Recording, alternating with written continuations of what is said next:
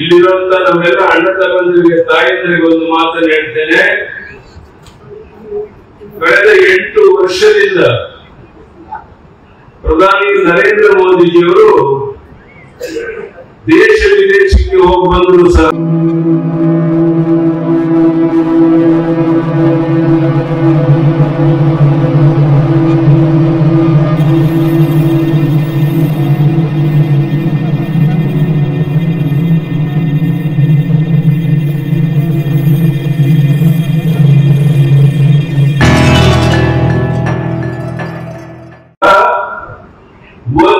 ವಿಶ್ರಾಂತಿ ತಗೊಂಡಿಲ್ಲ. ನರೇಂದ್ರ ಮೋದಿ ಅವರ ಹೆಸರು ಹೇಳುವಂತ ನೀವು ಈ ಎಂಟತ್ತು ದಿವಸ ನಮ್ಮ ಇಬ್ಬರು ಅಭ್ಯರ್ಥಿಗಳ ಪರವಾಗಿ ನೀವು ಕೆಲಸ ಮಾಡಿದ್ರೆ ಇವರಿಬ್ಬರ ಗೆಲುವಿನ ತಡೆಯೋದಕ್ಕೆ ಯಾರಿಂದಲೂ ಸಾಧ್ಯ ಇಲ್ಲ ನೀವು ಪ್ರಯತ್ನ ಮಾಡಬೇಕಷ್ಟೇ. ನಮ್ಮ ತಾಯಿಯಂದಿರ ಈ ದೇಶದ ರಾಷ್ಟ್ರಪತಿ ಪರಿಶಿಷ್ಟ ವರ್ಗದ ದ್ರೌಪದಿ ಮುರ್ಮು ಅವರು ನಿಮಗೆ ಗೊತ್ತಿದೆ ಅಂತ ತಿಳ್ಕೊಂಡಿದ್ದೇನೆ. ಈ ದೇಶದ ಆರ್ಥಿಕ ಸಚಿವರೇ ಹಣಕಾಸಿನ ಸಚಿವೆ ನಿರ್ಮಲಾ ಸೀತಾರಾಮನ್ ಅವರು ಅಂದ್ರೆ ನಮ್ಮ ಪಕ್ಷ ಮಹಿಳೆಯರಿಗೆ ಯಾವ ರೀತಿ ಆದ್ಯತೆಯನ್ನು ಕೊಟ್ಟಿದೆ ಅನ್ನೋದನ್ನ ಇದರಿಂದ ನೀವು ಅರ್ಥ ಮಾಡ್ಕೊಳ್ಬಹುದು ಅಂತ ನಾನು ತಿಳ್ಕೊಂಡಿದ್ದೇನೆ. ಇತ್ತೀಚೆಗೆ ನಮ್ಮ ಸ್ಪೀಕರ್ ಆಗಿದ್ದಂತ ರಮೇಶ್ ಕುಮಾರ್ ಅವರು ಒಂದು ಮಾತನ್ನು ಹೇಳಿದ್ದಾರೆ. ನಾವು ಕಾಂಗ್ರೆಸ್ನವರು ನಾಲ್ಕೈದು ತಲೆಮಾರಿಗಾಗುವಷ್ಟು ಹಣವನ್ನ ಮಾಡಿಕೊಂಡಿದ್ದೇವೆ ಅಂತ ಹೇಳಿದ್ದಾರೆ ಅವರು. ಅಂದ್ರೆ ಅಧಿಕಾರಕ್ಕೆ ಬಂದ ಮೇಲೆ ಸರ್ಕಾರದ ಕಲ್ಯಾಣವನ್ನು ನೋಟಿ ಮಾಡುವಂತ ಅವರು ದರೋಡೆಯನ್ನ ಅವರು ಮಾಡಿರುವಂತಹದ್ದು ಇದರಿಂದ ಸ್ಪಷ್ಟ ಆಗುತ್ತೆ ಅಂತ ನಾನು ತಿಳ್ಕೊಂಡಿದ್ದೇನೆ ಬಂಧುಗಳೇ. ದೇಶದ ಇತಿಹಾಸದಲ್ಲಿ ಮೊದಲ ಬಾರಿಗೆ ಕಿಸಾನ್ ಸನ್ಮಾನ್ ಯೋಜನೆಯಲ್ಲಿ ಆರು ಸಾವಿರ ಕೇಂದ್ರ ಸರ್ಕಾರ ಕೊಟ್ಟರೆ ನಾಲ್ಕು ಸಾವಿರ ನಾವು ಕೊಟ್ಟು ಹತ್ತು ಸಾವಿರ ರೂಪಾಯಿ ಒಂದು ಮನೆ ಕೊಡ್ತಾ ಇದ್ದೇವೆ ಬಡವರಿಗೆ. ಮಧ್ಯಮ ವರ್ಗದವರಿಗೆ ನಾನು ನಿಮ್ಮನ್ನು ಕೇಳ್ತೇನೆ, ಹೋಗಿ ಯಾವ್ದಾದ್ರು ಮನೆಗೆ. ಸರ್ಕಾರದ ಸೌಲಭ್ಯಗಳು ಸಿಕ್ಕಿಲ್ಲ ಅಂತ ಹೇಳುವಂತ ಒಂದು ಮನೆಯನ್ನು ತೋರಿಸಿ.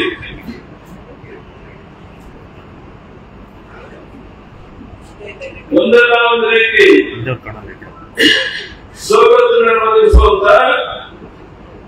ಪ್ರಾಮಾಣಿಕ ಪ್ರಯತ್ನ. ಪ್ರಧಾನಿ ನರೇಂದ್ರ ಮೋದಿ ಅವರು ನಮ್ಮ ಸರ್ಕಾರ ರಾಜ್ಯದಲ್ಲಿ ಮಾಡ್ತಾ ಇದೆ ಒಂದು ಕಾಲ ಇತ್ತು ಹಣದ ಬಲದಿಂದ ಹೆಂಡದ ಬಲದಿಂದ ತೋಳು ಬಲದಿಂದ, ಅಧಿಕಾರ ಬಲದಿಂದ, ಜಾತಿಯ ವಿಶ್ವೀಯ ವ್ಯಕ್ತಿ ಅಧಿಕಾರಕ್ಕೆ ಬರ್ತದೆ ಅಂತ ಕಾಲ ಕಾಲ ಈಗ ಹೋಗಿದೆ. ಯುವಕ ಯುವತಿಯರು ಜಾಗೃತರಾಗಿದ್ದಾರೆ. ಅನ್ಯಾಯದ ಹೋರಾಟ ಮಾಡಕ್ಕೆ ಸನ್ನದ್ಧರಾಗಿದ್ದಾರೆ.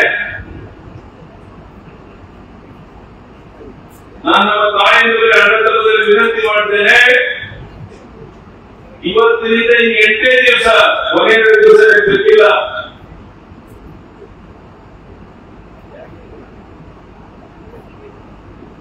ಒಂದು ವರ್ಷ ಪೂರ್ತಿ ಕೆಲಸ ಮಾಡ್ತಿರ್ಬೇಕಾದ್ರೆ, ಅವರ ಹೆಸರಿರುವಂತ ನೀವು ಈ ಎಂಟತ್ತು ದಿವಸ ನೀವು ಸಮಯವನ್ನು ಕೊಟ್ರೆ ಒತ್ತಾಡ ಆರೋಪ ಜ್ಞಾನೇಂದ್ರ ದೊಡ್ಡ ಹಂತದಲ್ಲಿ ಗೆಲ್ಲೋದನ್ನ ತಡೆಯೋದಕ್ಕೆ ಯಾರಿಂದಲೂ ಸಾಧ್ಯ ಇಲ್ಲ ಆದ್ರೆ ಆ ನಿರ್ಧಾರ ನೀವು ಮಾಡ್ಬೇಕಷ್ಟೇ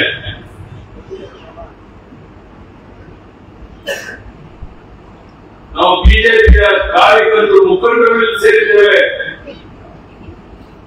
ಇನ್ನೆಂಟತ್ತು ದಿವಸ ನಾವು ಸಮಯ ಕೊಡಕ್ ಆಗದೆ ಇದ್ಮೇಲೆ ನಮ್ಮ ಮುಖಂಡರು ಕಲ್ಸ್ಕೊಡಕ್ ಯೋಗ್ಯರಾಗ್ತೀರೇನು ದಯಮಾಡಿ ನಾ ಕೈ ಜೋಡಿಸಿ ಪ್ರಾರ್ಥನೆ ಮಾಡ್ತೇನೆ ಹೆಚ್ಚು ಮಾತನಾಡುವಂತ ಅಗತ್ಯ ಇಲ್ಲ. ಮನೆ ಮನೆಗೆ ಹೋಗಿ ಮತದಾರರ ಭೇಟಿ ಮಾಡಬೇಕು. ಕೇಂದ್ರ ರಾಜ್ಯ ಸರ್ಕಾರದ ಸವಲತ್ತುಗಳನ್ನು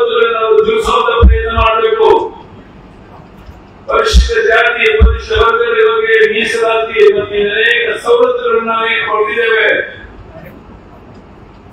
ಇದನ್ನ ನಾವು ಮನವರಿಕೆ ಮಾಡಬೇಕು. ಆಗ ಮಾತ್ರ ಎರಡೂ ಕ್ಷೇತ್ರದಲ್ಲಿ, ದೊಡ್ಡ ಅಂತರದಲ್ಲಿ ಸೂರ್ಯ ಚಂದ್ರನ ಸತ್ಯನೋ ಅಷ್ಟೇ ಸತ್ಯ ನೀವು ಕೇಳ್ತಾ ಇದ್ದೇನೆ. ಇಲ್ಲಿಬ್ಬರು ಅಭ್ಯರ್ಥಿಗಳು ಗೆದ್ದೇ ಗೆಲ್ತಾರೆ ನೀವು ಶ್ರಮದಿಂದ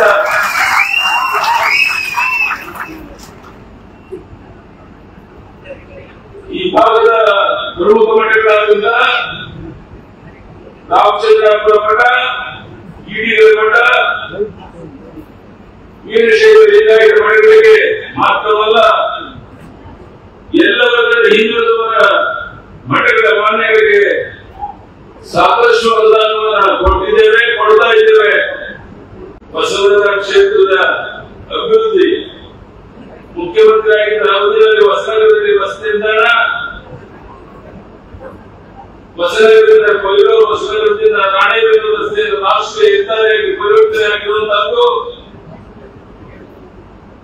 ವೀರಶೈವ ಮುಂತಾದ ಸಮುದಾಯಗಳ, ಸಮುದಾಯ ಭವನ ಸಾಕಷ್ಟು ಅನುದಾನ ನೀಡಿದ್ದೇವೆ. ಅಭಿವೃದ್ಧಿಗೆ ಏನು ಕೊರತೆ ಆಗಿಲ್ಲ. ಆದ್ರೆ ಮತ್ತೆ ಮತ್ತೆ ಜನರಿಗೆ ನೆನಪು ಮಾಡುವಂತ ಕೆಲಸ ಮಾತ್ರ ನಮ್ಮಿಂದ ಆಗ್ಬೇಕು. ಆ ಕೆಲಸ ನೀವು ಮಾಡಿ ದಿವಸ ಕೊನೆಯ ದಿನ ಹಿಡಿ ನಾವು ಮನೆ ಮನೆಗೆ ಹೋಗ್ತೇವೆ. ಮತದಾರರನ್ನು ಭೇಟಿ ಮಾಡ್ತೇವೆ. ನಮ್ಮ ಅಭ್ಯರ್ಥಿಯ ಗೆಲ್ಲಿಸ್ತೇವೆ ಕೈ ಎತ್ತಿ ನೋಡೋಣ ಈ ಕೆಲಸವನ್ನ ನೀವು ಮಾಡಿದ್ರೆ, ನಾನು ಇಲ್ಲಿಗೆ ಬಂದಿದ್ದೇನೆ ಸಾರ್ಥಕವಾಗುತ್ತೆ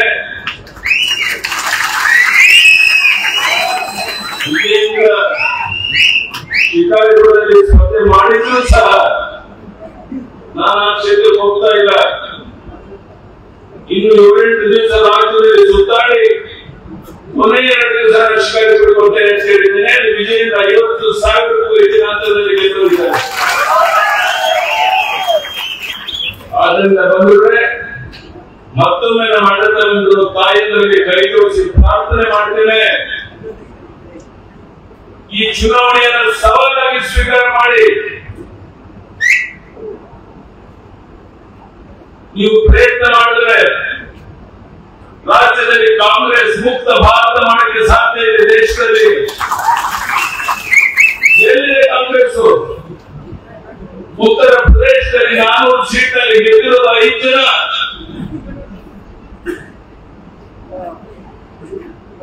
ಮಲ್ಲಿಕಾರ್ಜುನ ಖರ್ಗೆ ಅವರು ಪ್ರಧಾನಿ ಬಗ್ಗೆ ಹಗುರವಾಗಿ ಮನಬಂದಂತೆ ಮಾತನಾಡ್ತಾರೆ. ಕಾಂಗ್ರೆಸ್ ಪಕ್ಷದ ರಾಷ್ಟ್ರೀಯ ಅಧ್ಯಕ್ಷರಿಗೆ ಶೋಭೆಗಳು ಹಗುರವಾಗಿ ಮಾತನಾಡಿ, ಕಾಂಗ್ರೆಸ್ ಪಕ್ಷ ತಮ್ಮ ಅಸ್ತಿತ್ವವನ್ನು ಕಳ್ಕೊಳ್ತಾ ಇದ್ದಾರೆ. ಎಲ್ಲ ಕಡೆ ಚುನಾವಣೆಯಲ್ಲಿ ಸೋತಿದ್ದಾರೆ. ಇಂಥ ಒಂದು ಸಂದರ್ಭದಲ್ಲಿ ಕರ್ನಾಟಕದಲ್ಲಿ ನಾನು ಭರವಸೆಯನ್ನು ಕೊಡ್ತೇನೆ. ನೂರ ಮೂವತ್ತರಿಂದ ನೂರ ನಲವತ್ತು ಸೀಟಿನ ಗೆದ್ದು ಸರ್ಕಾರದ ರಚನೆ ಮಾಡುವಂತದ್ದು ನಿಶ್ಚಿತ. ಇದನ್ನು ಸಾಧ್ಯ ಇಲ್ಲ. ಮತ್ತೊಮ್ಮೆ, ಜ್ಞಾನೇಂದ್ರ ಹತ್ತಾಳಪ್ಪ ಸರ್ಕಾರದಲ್ಲಿ ಉನ್ನತ ಸ್ಥಾನ ಕೊಡು ಸಿಗಬೇಕು ಅಂತ ನಿಮ್ಮ ಅಪೇಕ್ಷೆ ಇದ್ರೆ